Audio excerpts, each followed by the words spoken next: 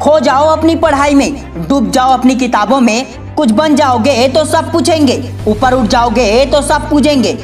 वरना यहाँ इंसानियत की कीमत कम और उसके रुतबे की ज़्यादा है। न संघर्ष, न तकलीफ़ तो क्या मज़ा है जीने में? बड़े बड़े तूफ़ान थम जाते हैं जब आग लगी हो सीने में। जब तक पढ़ाई के लिए सीने में आग नहीं लगेगी, तब तक आप अपनी मंजिल से कोसों दूर हैं। माना कि मंजिल बड़ी मुश्किल भरी है, आजमाइश बड़ी बड़ी राहों में खड़ी है। हौसला दिल में है कुछ कर दिखाने का। खून में आया उबाल ऐसा, फिर न देखा दिन या रात है। कड़ी मेहनत ज़िंदगी में करनी है, सब कुछ हार बैठा, ऐसी मेरी ज़िंदगी है। आया एक नया सवेरा मेरी राहों में, ज़िंदगी में मैंने जो कुछ मांगा, वो सारी तमन्ना पूरी है।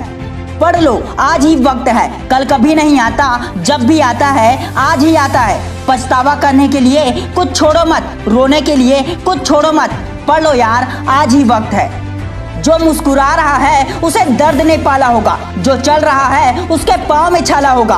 बिना संघर्ष के इंसान चमक नहीं सकता यारो।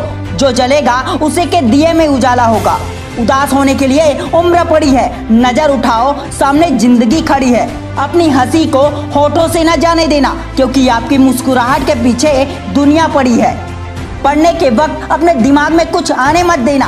मोबाइल को स्विच ऑफ़ करके साइड में रख देना। जब भी नींद आएगा तो एक गिलास पानी पी लेना और अपने आँख को ताजे पानी से धो लेना। फिर से पढ़ने बैठ जाना। आज आलस्य के बस में हो जाओगे तो कल पक्का पछताओगे। और दुनिया के लोग पछतावा करने वालों को नहीं, बल्कि हार्ड वर्क करके सफल हो जाने वाले लोगों को पहचानते हैं। खुद का मोटिवेटर खुद बनो। आप अपनी गलतियों को अच्छे से जानते हो और आप अपनी काबिलियत को अच्छे से पहचानते हो। सोचने में अपना वक्त बर्बाद मत करो। टॉपर बनने के लिए बातों से नहीं, रातों से लड़ना पड़ता है। तू खुद को बाँध रखा है। खोल दे अपने दिमाग की खिड़कियाँ और याद कर अपने एम को, याद कर अपने सपनों को। ये सपना नहीं है, ये तेरी ज़िंदगी है।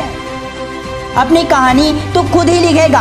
कोई दूसरा या तीसरा नहीं आने वाला है तेरी कहानी लिखने के लिए। पढ़ने से दिमाग खुलेगा, रास्ते दिखेंगे, ज़िंदगी में इज़्ज़त, दौलत, शोहरत सब कुछ मिलेगा, इन किताबों के बदौलत। थोड़ा और थोड़ा करके अपने मन को बहलाते जाओ। हर हालात में तुम पढ़ते जाओ। हर एक घंटा में पाँच मिनट का ब्रेक लो और फिर से पढ़ते जाओ। पढ़ाई करते वक्त अपने आसपास में सिर्फ़ ज़रूरत की चीज़ों को ही रखो। फालतू चीज़ों को साइड में रख दो। संघर्ष करते हुए मत घबराना दोस्त, क्योंकि संघर्ष के दौरान ही इंसान अकेला होता है। सफलता के बाद तो सारी दुनिया साथ होती है। अगर सूरज की तरह चमकना चाहते हो तो सबसे पहले सूरज की तरह तपना सीखो। पढ़ो पढ़ो, खूब पढ़ो, मगर सिर्फ़ पढ़ना नहीं है। पढ़ी हुई बातों को याद भी रखना है। पढ़ी हुई बातों को अपनी ज़िंदगी में उतारना है। जब पढ़ी हुई बातें जीवन में उतरने लगे, तब सफलता के आप करीब पहुँच जाएँगे। निरंतर अभ्यास करो। अगर अभ्यास से एक मंद बुद्धि बालक इस दुनिया का महान वैज्ञानिक बन सकता है, अगर एक मंद बुद्धि बालक इस दुनिया का सबसे बुद्धिमान व्यक्ति बन सकता है तो आप क्यों नहीं?